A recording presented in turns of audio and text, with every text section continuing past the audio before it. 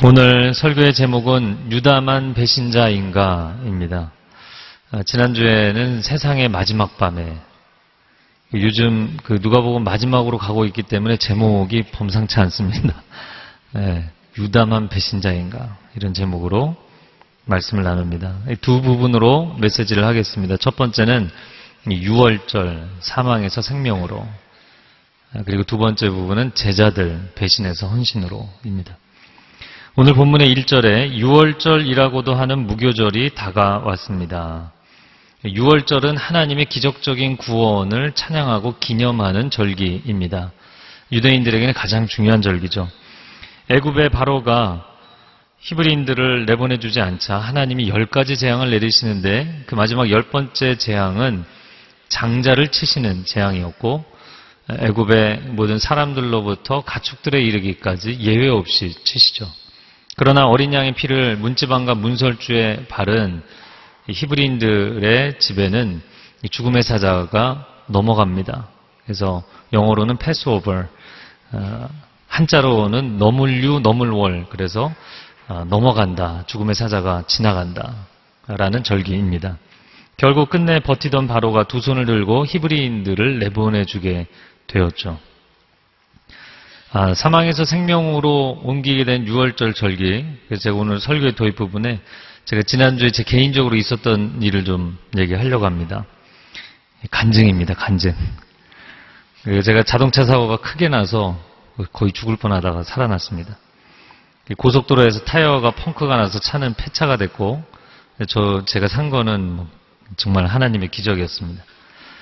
아, 지난 목요일 저녁 6시에 제가 담당하는 송파공동체 장례가 났다는 소식을 듣고 그 대천 장례식장이었는데 그 순간 그 얘기를 듣는 순간 아, 가고 싶지 않다 이런 마음이 들었어요.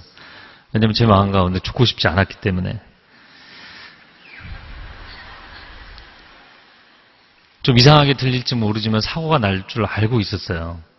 그, 그 3일 전에 저희 아내가 꿈을 꿨는데 제가 죽어서 저희 아내와 큰아들이 통곡을 하는 걸 봤대요. 제가 그 3일 동안 계속 묵상했거든요. 내가 어떻게 죽을까. 네. 그래서 제가 어떻게든 딱 대천 장례식장 얘기를 듣는 순간, 아, 이거구나. 어떻게든 피하고 싶은데, 죽고 싶지 않은데, 그 전화를 하신 장례 담당 집사님에게 제가 물었어요. 그 다음날, 그 다다음 날도 제가 스케줄이 많아서 도저히 갈 수가 없기 때문에 그날 밤에 가지 않으면 못 가는 상황이었어요. 집사님, 저희 공동체 장례 사역 규정상, 어, 부득이한 경우에는 목회자가 수도권 이남으로는 가지 않는 게 원칙이죠? 이렇게 질문을 했어요. 그랬더니 집사님이 뭐 가지 않으셔도 되죠. 그러나 꼭 가지 말라는 법도 없습니다. 이렇게 얘기를 하시는 거예요. 그래서 제가 아 가라는 하나님의 음성으로 받아들이고 집에 전화했어요. 그리고 아내에게 얘기했어요. 여보 내가 유언을 남겨야 될 것 같아. 전 진지하게 얘기한 거예요. 유언을 남겨야 될 것 같아. 그리고 두 아들 목소리를 듣고 사랑한다고 고백하고 전화를 끊었어요. 제가 지난 주일 설교가 세상의 마지막 밤에 그 도곡에서 설교를 하면서 오늘이 내 인생의 마지막 날일지라도 변함없이 최선을 다하며 살아야 한다. 이런 메시지를 했거든요. 근데 제 자신을 보니까 내가 죽기 싫다고 위로 예배도 위로해야 되는 성도가 있는데 위로 예배도 안 가고 집으로 도망가고 싶은 거예요. 아, 이거 안 되겠다. 하나님이 나를 데려가시기로 작정한다면 뭐 어디서든 안 데려가시겠습니까? 피해갈 방법이 없잖아요. 목회자가 영혼을 돌보다가 가야지. 그래, 가자. 죽으러 가자. 근데 이제 제 마음 가운데 이제 6시였는데 저희 그날 공동체, 아, 6시 반부터 공동체 개강 예배 식사 시간이었고 7시 반 예배였거든요. 시간이 저에게 굉장히 짧은 시간 동안 여러 가지 생각을 했어요. 죽는다고 생각을 하니까 아주 기분이 이상하더라고요. 심장이 뭐 쫄깃쫄깃해진다 이런 표현을 쓰는데 심장이 오그라드는 것 같고 죽고 싶지 않다는 생각이 조금 들더라고요. 집사님들과 차를 같이 타고 가면 사고가 나지 않지 않을까? 네. 그런 생각이 들었다가 바로 다음에 어차피 사고가 날 텐데 집사님들이 나 때문에 같이 사고가 나면 안 되겠다. 그냥 혼자 사고가 나야겠다. 요나와 같이 배를 탄 사람들이 요나 때문에 고생하잖아요. 혼자 가기로 결정하고 장로님과 세 분 집사님 따로 한 차를 타고 그두 차로 이동을 했어요. 개강 예배를 마치고 마지막 광고 시간에 제가 대천에 어, 위로 예배가 있어서 장례식장 다녀오니까 기도해 주십시오. 광고를 하고 내려가는 길에 외곽순환 고속도로를 타고 서해안 고속도로 이어서 타야 되니까. 근데 외곽순환 고속도로에 정말 예상치 못했던 깊이 움푹 파인 데가 있어서 차 왼쪽 라인이 이렇게 바퀴가 쿵 하고 들어갔다 나왔어요. 그때 아마 좀 그 파손이 있었던 것 같아요. 위로 예배를 드리고 새벽에 올라오는 길에 서해안 고속도로 해미 인터체인지 근처에서 새벽 1시 40분에 타이어가 펑크가 나고 차가 이제 핸들이 말을 안 듣고 핸들이 이제 결국엔 부서졌는데 그리고 차가 중앙분리대를 받고 한 바퀴를 돌아서 갓길을 부딪히고 멈춰 섰어요. 차에서 내려서 보험회사에 전화를 하고 경찰차가 오고 앰뷸런스가 오고 그래서 앰뷸런스한테 아니 나는 보험회사에다 앰뷸런스는 안 불렀는데 그랬더니 제 바로 뒤에 차가 따라오다가 이제 피해서 갔는데 그 차가 사람 죽었다고 연락을 했대요. 그러니까 그 사람이 뒤에서 볼 때 사망사고였던 거예요. 근데 제가 죽지를 않았죠. 다섯 가지 이유 때문에 죽지 않았습니다. 첫 번째, 아, 바로 뒤에 트럭이 비켜갔다는 것. 사실 그 차가 좀 큰 차였으면 컨트롤이 어려웠을 거예요. 근데 좀 작은 차였고 그 차가 브레이크를 밟으면서 피해갔어요. 두 번째, 대형 트레일러들이 굉장히 많았었는데 아주 멀리서 왔기 때문에 시간적인 예, 인터벌이 있었어요. 세 번째, 아, 앞바퀴가 펑크가 나면 대형 사고입니다. 근데 뒷바퀴가 펑크가 났기 때문에 아, 그리고 네 번째 차가 멈추고 나서 악셀과 핸들을 해보니까 아무것도 안 먹더라고요. 차가 도로 한가운데 섰으면 1, 2차선밖에 없었기 때문에 갓길에 멈췄다는 거. 그 다섯 번째 가드레일이 약했다면 그냥 튕겨나가는 건데 양쪽이 다 콘크리트 벽이었어요. 네. 그래서 제가 내려서 이렇게 아래를 보니까 2, 30m 계곡 아래더라고요. 계곡 위에 있는 브릿지였는데 약간 내리막의 커브길이었어요. 그러니까 이 다섯 가지 조건 중에서 한 가지만 다른 상황이었어도 저는 이 자리에 서서 여러분을 만나지 못하는 겁니다. 그날 아침 큐티가 뭐였냐면 에스더서 8장에 죽음에서 생명으로 옮겨지는 애. 그래서 에스더서를 제가 제대로 체험했습니다. 정말 죽을 수밖에 없는 날 하나님이 살려주셨어요. 예, 금요일에 병원에 가봤더니 그 다 정상이라고 아, 물론 뭐 그 경과를 좀 보면서 치료를 해야 된다 생각합니다. 예, 사고가 난 이후에 아, 더 정말 겸손하게 진실하게 사약해야겠다. 제가 개인적인 이야기를 이렇게 장황하게 한 것은 소문으로 들으시고 소문만 무성하면 안 되기 때문에 어, 제가 캐나다에 있을 때 뭐 운동하다가 조금 그 발목을 접질렀는데 한국에서 전화가 오더라고요. 다리가 부러지셨다면서요? 이렇게 전화가 오더라고요. 네. 두 번째는 오늘의 말씀과 상당히 중요한 연관성이 있기 때문에 제가 이 얘기를 했습니다. 하나님이 하나님의 백성들을 사망에서 생명으로 옮기시는 줄로 믿습니다. 6월절, 하나님의 구원을 찬양하는 그 6월절에 하나님의 구원을 백성들에게 베풀었던 예수님을 죽이려고 하고 있어요.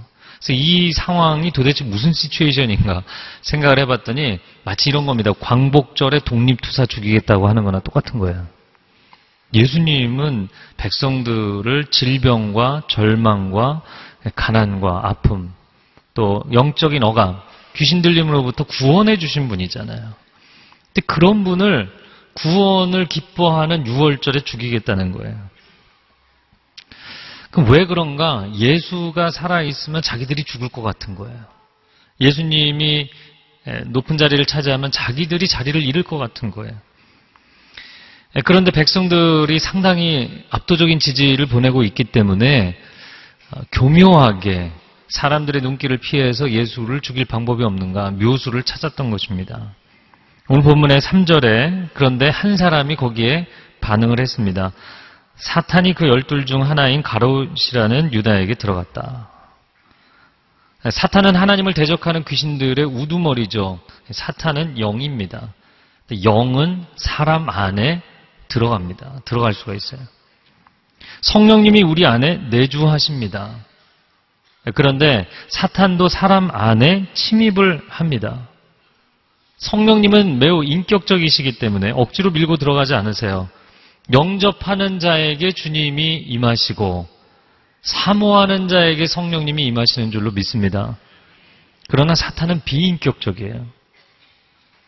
거래를 하거나 유혹을 해서 접근하고 빈틈을 노려서 그 빈틈을 타고듭니다. 에베소서 4장 26절 27절에 이렇게 말씀합니다. 화를 내어도 죄를 짓지 마십시오. 해가 지도록 화를 품지 말며 마귀에게 틈을 주지 마십시오. 분노는 사단이 들어올 수 있는 게이트웨이, 대문을 열어놓는 거예요. 제가 아는 사람이 집에서 가족들하고 뭔가 기분 나쁜 게 있으면 막 화가 나는 거예요. 근데 비정상적으로 막 분노에 사로잡혀서 방문을 꽉 닫고 들어와서 딱 자리에 누운 거예요. 그런데 자리에 똑바로 누웠어요. 누웠는데 이 사람을 등 뒤에서 팔을, 양쪽 팔을 꽉 잡는 힘을 느낀 거죠. 그 누워있는데 누가 등 뒤에서 붙잡겠습니까?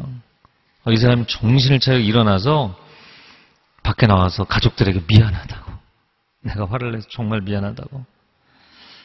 화를 품으면 마귀에게 틈을 내어준다. 밴쿠버에서 이런 일이 있었어요. 처음 이민을 오신 분이었는데 아주머니셨는데 자동차 장기 리스를 하려고 가게에 가서 매니저를 만났는데 그 매니저가 차를 다 소개를 해주더니 밴쿠버 온누리교회 나오십시오. 전도를 한 거예요. 교회를 한 번도 안 나가본 사람이었어요. 오후에 쇼핑몰에 가서 장을 보는데 지나가던 한국 여자가 밴쿠버 온누리교회 나오십시오. 어, 하루에 두 번씩이나 얘기를 하다 보니까 오전에 만난 그 매니저하고 오후에 만난 이 쇼핑몰의 여자가 부부예요. 부부. 아, 이 교회를 가야 되나 보다. 그 교회를 나오기 시작했어요. 근데 희한한 현상이 이분에게 나타났는데 예배당에만 앉아 있으면 머리가 깨질 듯이 아픈 거예요. 예배당 밖에 나가면 멀쩡해져요. 예배당에만 들어오면 머리가 깨질 듯이 아파요. 두세 달을 그러다가 급기야는 집에서 오늘 교회 가야지 생각하는 순간부터 머리가 아프기 시작해요. 이건 영적인 문제죠. 그 남편분이 바다 이야기 사업을 하시는 분이었는데 그 불법이잖아요. 그러니까 앞에는 셔터를 내리고 뒷문으로 불법 영업을 하고 계셨어요. 이분이 교회를 이제 열심히 나오기 시작하면서 저에게 남편의 사업이 잘 되도록 기도해 달라는 거예요. 참 어떻게 기도를 해야 될지. 근데 그 집안의 내력을 보니까 가족들 중에 무당들이 있어요. 이 원수가 완전히 사로잡고 있는 집인데 이 사람이 하나님 앞에 나가려고 그러니까 놔주지를 않는 거예요. 1년을 끌었어요. 제가 버티십시오. 무조건 버티십시오. 머리가 아무리 아파도 버티십시오. 1년이 지나서야 자유해졌어요. 믿지 않는 사람, 그 안에 예수님이 주인이 아닌 사람, 하나님을 아버지라 고백하지 못하는 사람, 육신의 부모가 있는 것처럼 영적인 아버지가 계신데 내 영혼의 아버지를 아버지라고 부르지 않고 있는 사람, 그런 사람의 내면의 영혼의 상태를 간단하게 설명하면 빈집입니다. 좀 심하면 폐가. 도둑이 털기 가장 좋은 데가 어디예요? 빈집이에요. 빈집 터는 거예요.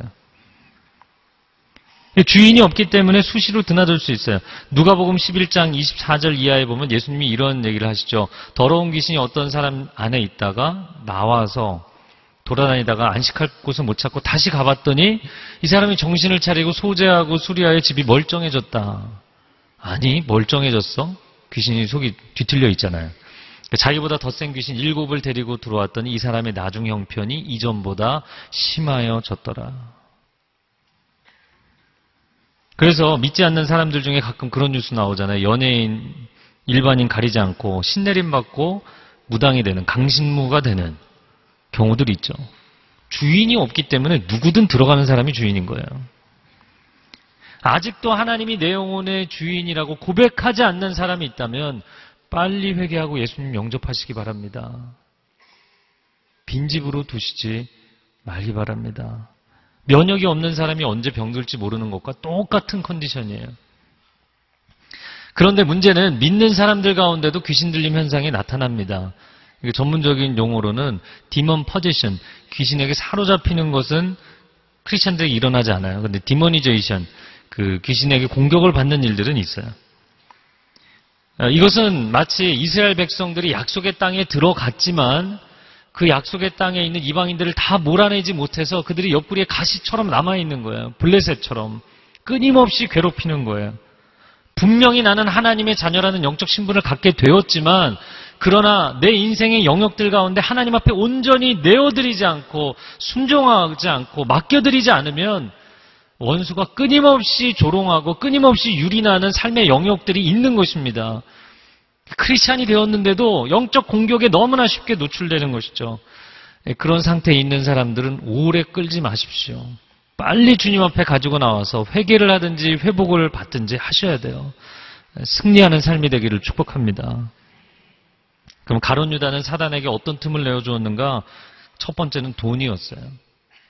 요한복음 12장 6절 하반절에 보면 그는 돈주머니를 맡고 있으면서 거기에 있는 돈을 훔쳐가곤 했기 때문이다. 돈을 사랑하는 것이 일만 악의 뿌리가 된다. 성경이 이야기합니다. 예수가 민족을 구원할 것이라고 잔뜩 기대하고 쫓아다녔는데 그런 정치적 메시아가 되리라는 희망이 이제 사라지게 됐어요. 나는 그런 역할을 하지 않는다, 예수님이. 아, 기대를 접어버리고 이제는 돈이나 몇 푼 건지고 등져야겠다 생각한 것이죠. 그러면 오늘 제목처럼 가론 유다만 배신자인가? 아니죠. 그는 나중에 동참한 경우고 실제로 이 일을 주도한 사람들은 종교 지도자들이죠. 네, 가장 큰 배신자들은 종교 지도자들이었어요. 계시록 2장 9절 하반절에 보면 또 내가 자칭 유대 사람이라 하는 사람들의 모욕도 알지만 실은 그들이 유대 사람들이 아니라 사탄의 집단이다. 개혁성경에는 사단의 회다. 하나님의 이름을 팔아서 장사하는 사람들, 권력을 얻고 싶어서, 재물을 얻고 싶어서, 헤게모니를 장악하고 싶어서, 거기에 미쳐서 싸울 뿐이지 양들을 구원하는 일에는 전혀 헌신하지 않는 사람들, 그런 사람들이 가장 큰 하나님 나라의 배신자들 역할을 한다는 거예요. 자, 그러면 가룟 유다만 배신을 했는가? 제자들도 다 배신했죠. 오늘 본문의 4절부터 6절을 보면 유다는 대제사장들과 성전 경비대장들에게 가서 어떻게 예수를 그들에게 넘겨줄지 의논했다. 그들은 기뻐하면서 유다에게 돈을 주기로 약속했다. 유다도 이에 동의하고 무리가 없을 때 예수를 그들에게 넘겨주려고 기회를 엿보고 있었다. 대제사장들과 실제로 그 체포 계획을 진행할 경비대장들과 만나서 의논을 했어요. 예수님을 어떻게 넘겨줄지.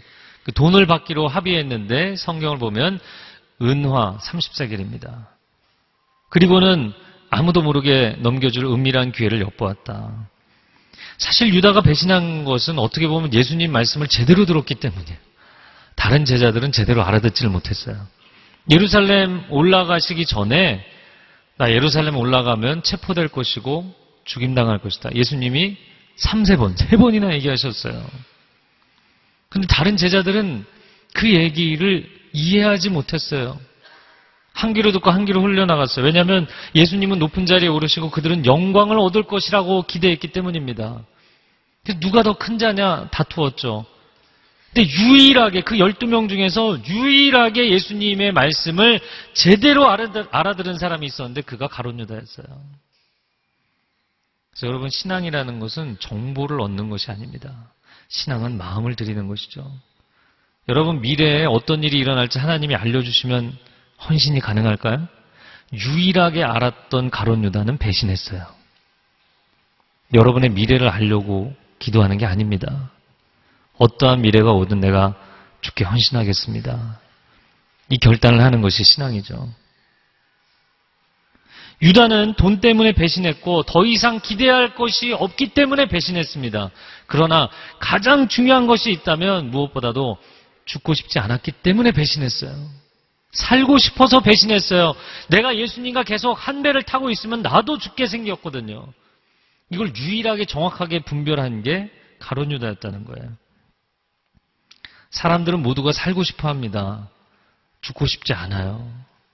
어떻게든 생명을 연장하고 싶어요. 중병에 걸린 사람도 생명 연장하고 싶고, 연로하신 분도 오래 살았으면 좋겠고, 살고 싶은 욕구는 모든 살아있는 존재들의 떨칠 수 없는 본능이에요. 그런데 성경이 다르게 이야기합니다. 살고자 하는 자는 죽을 것이고, 나를 위해 기꺼이 죽고자 하는 자는 살 것이다. 누가복음 9장 24절 말씀 같이 읽어보겠습니다. 시작. 누구든지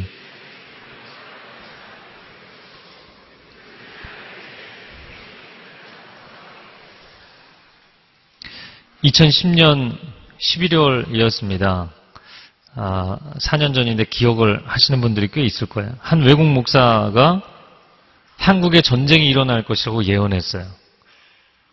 그래서 많은 크리스찬들이 뭐 SNS로 서로 글을 퍼다 나르면서 다들 막 두려워했어요. 근데 그 예정일이 주일이었어요.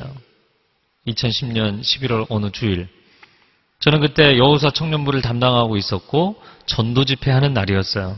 두 달 전부터 기도하고 준비해서 그날 초청자들을 모시고 복음을 증거하는 날이었어요. 한 청년이 카톡이 왔어요. 목사님, 저 오늘 도저히 무서워서 교회를 못 가겠어요.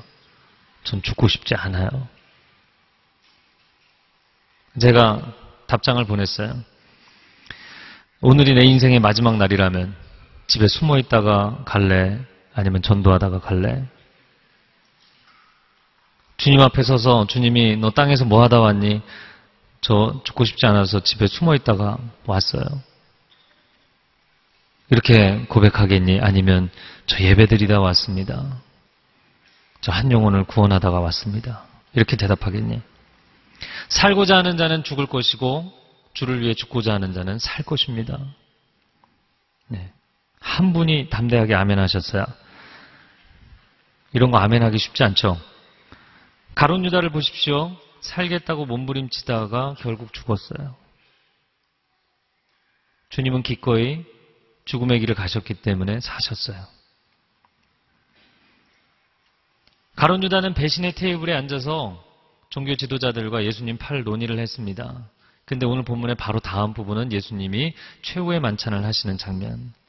예수님은 헌신의 테이블에 앉아서 자기의 생명을 내어주시는 것에 대해서 이야기하고 계셨어요. 가론 유다는 그 배신의 테이블에서 돈이 오고 갔지만 예수님은 그 헌신의 테이블에서 생명이 오고 가는 대화를 나누셨던 것입니다. 결국에 유다는 은화 30세계를 받았습니다. 이 은화 30세계는 그 당시 노예 한 명의 몸값입니다. 예수님을 노예 한 명의 몸값으로 팔아넘겼어요. 그가 받은 그 예수님의 몸값이 결국에 자신의 생명값이 될 것을 전혀 모르고 있었어요. 사실 예수님은 우리의 죄값을 대신 치르시기 위해서 자신의 생명을 값으로 지불해 주러 오신 분입니다. 그런데 그 며칠을 참지 못해서 가론 유다는 회개도 하지 않고 자살하고 생을 마감했습니다. 얼마나 안타까운 일인지. 사실 우리도 내 인생 살아보겠다고 나 혼자 살아보겠다고 예수님을 등지고 배신하는 경우가 얼마나 많은지 모릅니다. 역사상 네로 황제가 그 비정상이었잖아요. 완전히 미쳐서 로마에 불을 지릅니다. 로마 대화제라는 사건인데 AD 64년에 로마시 전체를 불태우면서 그거를 즐기고 있었어요. 그런데 그 화재에 대한 책임을 자기가 져야 되니까 그 화재에 대한 누명을 기독교인들에게 다 뒤집어 씌우죠. 기독교인들이 불을 질렀다. 그리고는 그 당시 로마에서 활동을 하던 사도 베드로에게는 체포 명령이 떨어집니다. 성도들이 피신하십시오. 당신 여기 있으면 죽습니다. 베드로가 성을 몰래 빠져나오는데 예수님을 만나죠. 그리고 베드로가 던졌던 질문, Quo vadis Domine, 주여 어디로 가십니까? 주여 어디로 가시나이까? 나는 내가 버리고 나온 로마로, 내가 양무리들을 버리고 나온 그 로마로 십자가를 지러 다시 들어간다. 베드로가 회개하고 돌아가서 체포당하고 사형당하게 되죠. 십자가에 그를 매달려고 할 때 나는 예수님과 같이 매달릴 자격이 없습니다. 거꾸로 나를 매달아 주십시오. 십자가에 거꾸로 매달려서 순교했습니다. 가론 유다만 배신을 했는가? 물론 다른 제자들도 다 배신했습니다. 그러면 왜 배신했는가? 도대체 무엇이 배신인가? 나 혼자 살아보겠다고 하는 게 배신의 시작이에요. 나 살겠다고 주님을 등지는 것이 배신입니다. 왜냐하면 예수님은 정반대의 길을 가셨기 때문이에요. 예수님은 죽겠다고 이 길을 가고 계시는 거예요. 유다는 살아보겠다고 배신하고 예수님은 죽겠다고 마지막 만찬에서 성찬식을 하고 계셨어요. 나는 6월절 어린 양으로 너희의 죄를 다 담당하고 죽겠다고 말씀하고 계셨어요, 예수님이. 예수님의 생애를 돌이켜보면 예수님은 죽으러 오셨어요. 여러분, 사람이 태어날 때, 아, 내가 좀 잘 살아보겠다, 이러고 인생을 시작하지, 내가 죽어보겠다, 이러고 인생을 시작하는 사람 없잖아요. 예수님은 죽으러 오셨어요. 우리가 예수님을 닮으려면 우리는 죽기 위해 살아야 돼요. 살기 위해 사는 것이 아닙니다. 예수님의 공생애를 돌이켜보면 날마다 예수님은 산 것이 아니라 날마다 예수님은 죽으셨어요. 날마다 예수님은 십자가를 지셨습니다. 그래서 예수님이 사람들을 만나는 모든 사건에서 저는 십자가에 달리는 예수님의 영상을 보게 됩니다. 문둥병을 앓고 있는 병자, 아무도 손대지 않고 더럽게 생각하는 저주받은 인생, 예수님이 손을 얹으셔서 그를 만지시고 치유하신 것은 예수님은 그 순간에 그를 위해 십자가를 달리시는 거예요. 가늠하다 현장에서 잡힌 여인, 사람들이 돌로 쳐서 죽이려고 하는데 예수님이 막아주시잖아요. 만약에 사람들이 돌 내려놓지 않았으면 예수님도 돌 맞아 죽는 거예요. 예수님은 그 여인을 지키기 위해서 십자가를 지시는 거예요. 모두가 조롱하고 비난하는 세리장 사케오의 집에 들어가시는 그 순간 예수님은 십자가를 지시는 거예요. 여러분 예수님은 날마다 사건마다 십자가를 지셨어요. 어느 날 갑자기 예수님이 너무나 편안하게 지내다가 마지막 하루만 멋지게 십자가에 달린 게 아닙니다. 매일매일 십자가를 지는 심정으로 사셨기 때문에 십자가를 최후에 지실 수 있는 거예요. 평소에 십자가를 지지 않던 사람은 십자가 인생의 마지막 날이라고 십자가 지지 못합니다.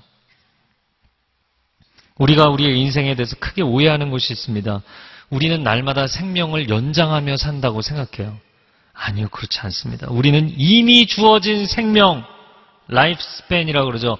생명의 길이가 이미 하나님 안에서 정해져 있는데 그 생명 창고에서 하루치 분량씩 가져와서 날마다 써가며 죽어가고 있는 거예요. 우리는 살아가고 있는 게 아니라 죽어가고 있는 거예요.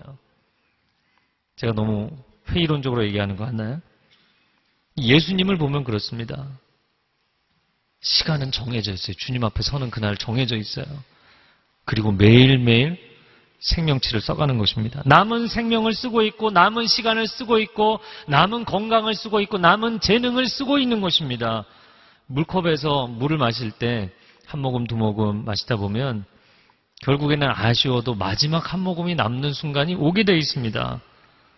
그런데도 사람들은 마치 생명을 연장할 수 있는 것처럼 살아갑니다. 나는 절대로 손해보고 싶지 않아요. 나는 절대로 누구를 위해서도 희생하고 싶지 않아요. 헌신하고 싶지 않아요. 살겠다고 몸부림치면서 가면 생명을 안 쓰는 만큼 내 생명의 총량이 유지가 되거나 늘어나는 게 아니에요. 하루하루의 생명치를 쓰는 것은 마치 뭐와 같으냐면 어, 이렇게 묵상을 해보니까 그렇더라고요. 오늘만 쓸 수 있는 쿠폰 있잖아요. 뭐 식음료 쿠폰이든 아니면 놀이동산 쿠폰이든 이거 오늘 안 쓰면 버리는 겁니다. 오늘 내가 누군가를 위해서, 오늘 내가 주님을 위해서 헌신하며 살지 않으면 생명을 가치 있게 사는 것은 그 생명을 완전히 쏟아붓기까지 사는 것이거든요. 그렇게 가치 있게 살지 않으면 내게 주어진 하루 분량의 생명치는 낭비하고 마는 거예요. 땅바닥에 쏟은, 쏟는 것입니다.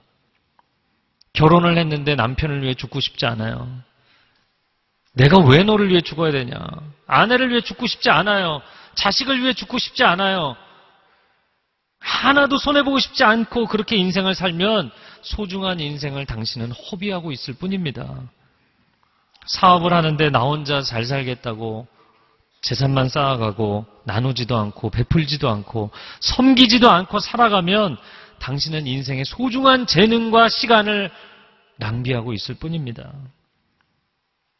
성공을 위해서만 목회하고 그 누구를 위해서도 내가 죽고 싶은 생각이 없다고 얘기하는 목회자가 있다면 그 사람은 하나님의 나라를 헛된 것으로 만들며 하나님이 주신 생명과 사역을 허비하고 있는 것입니다. 그래서 인생은 살겠다고 몸부림치면서 절대로 나는 죽지 않겠다고 버티면서 비참하게 죽어갈 것이냐 아니면 기꺼이 죽으면서 가치 있게 살 것이냐 이 둘 중에 하나죠. 우리는 죽어야 합니다.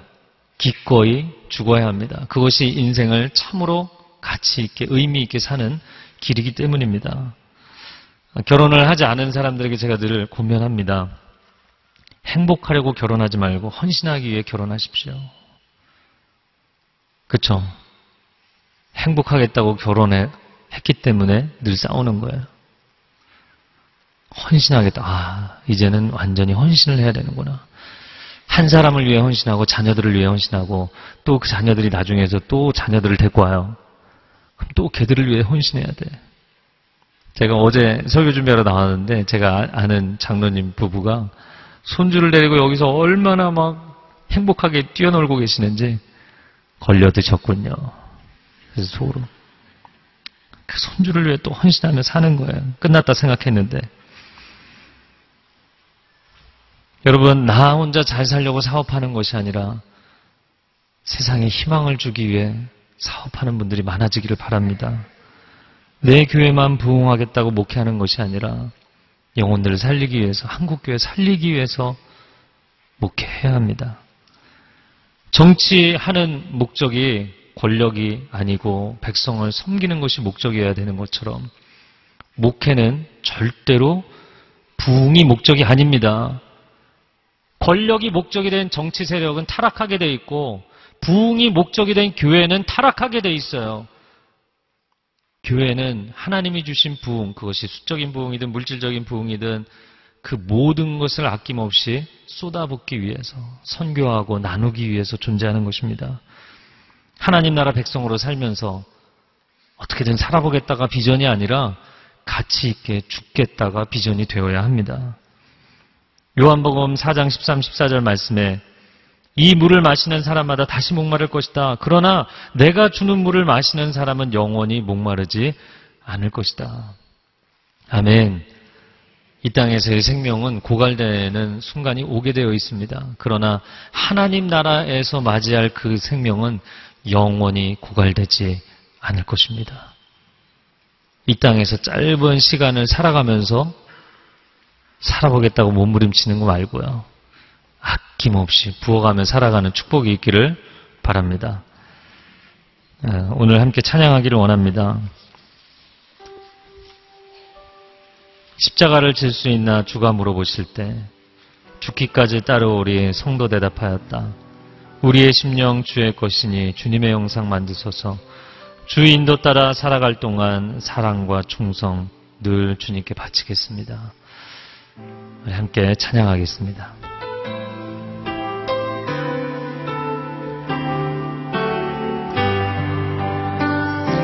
십자가를 질 수 있나? 주가 물어보실 때 죽기까지 따르오리 성도 되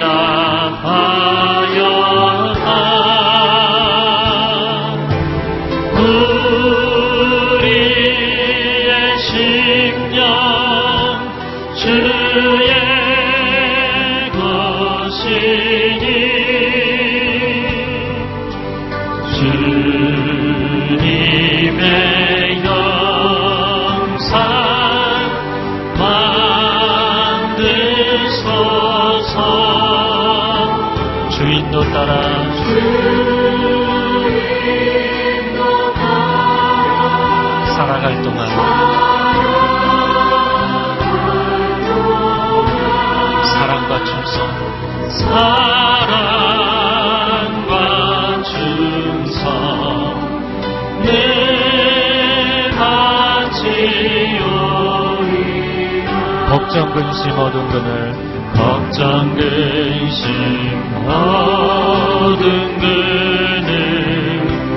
너를 둘러 덮을 때 주께 주께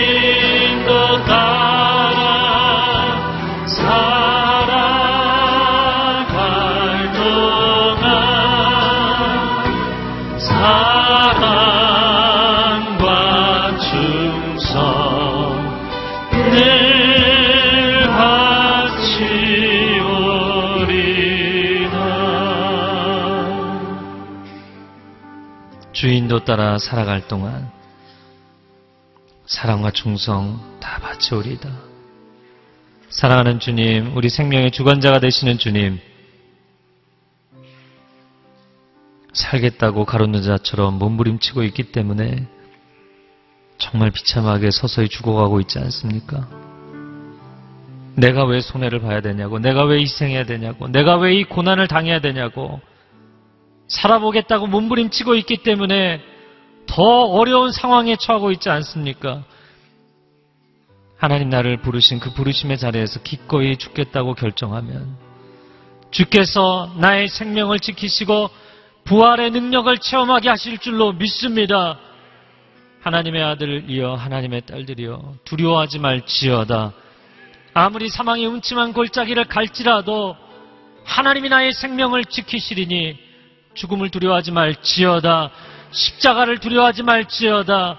강하고 담대할지어다. 이 시간 함께 기도할 때 우리 두 손을 내어드리고 주여 한번 외치고 기도하겠습니다. 주여 오 주님 우리의 생명을 주님의 손에 올려드리며 나아갑니다. 주님을 신뢰하며 주님을 의탁합니다. 우리가 우리의 생명의 길이를 조절할 수 없고 하나님의 주관 아래에 있습니다. 하나님께서 모든 것을 이루실 것이고 하나님 모든 것을 지키실 것이고 하나님 모든 것을 완성하실 것입니다. 왜 걱정하느냐? 왜 두려워하느냐? 왜 근심하느냐? 왜 위축되어 있느냐? 주님 우리의 생명을 지키시고 사망의 어두운 골짜기를 지나가게 하실 것입니다. 주의 지팡이와 막대기가 나를 지켜주실 것입니다. 하나님의 자녀들이 강하고 담대하게 하여 주시옵소서. 생명의 능력으로 우리를 보호하시고 지키시는 하나님, 오늘도 승리하게 하여 주시고 우리의 삶 가운데 이 믿음의 고백이 있게 하여 주옵소서. 아멘. 주님 그렇습니다.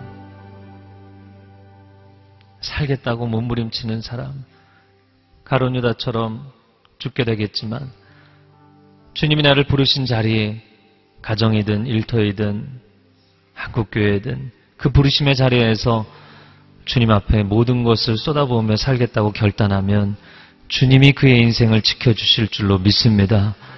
승리하는 하나님의 사람들 되게 하여 주옵소서 원수가 주는 두려움에 매여 사는 것이 아니라 하나님이 주시는 믿음을 붙잡고 승리하는 하나님의 사람들 되게 하여 주옵소서 예수 그리스도의 이름으로 기도합니다.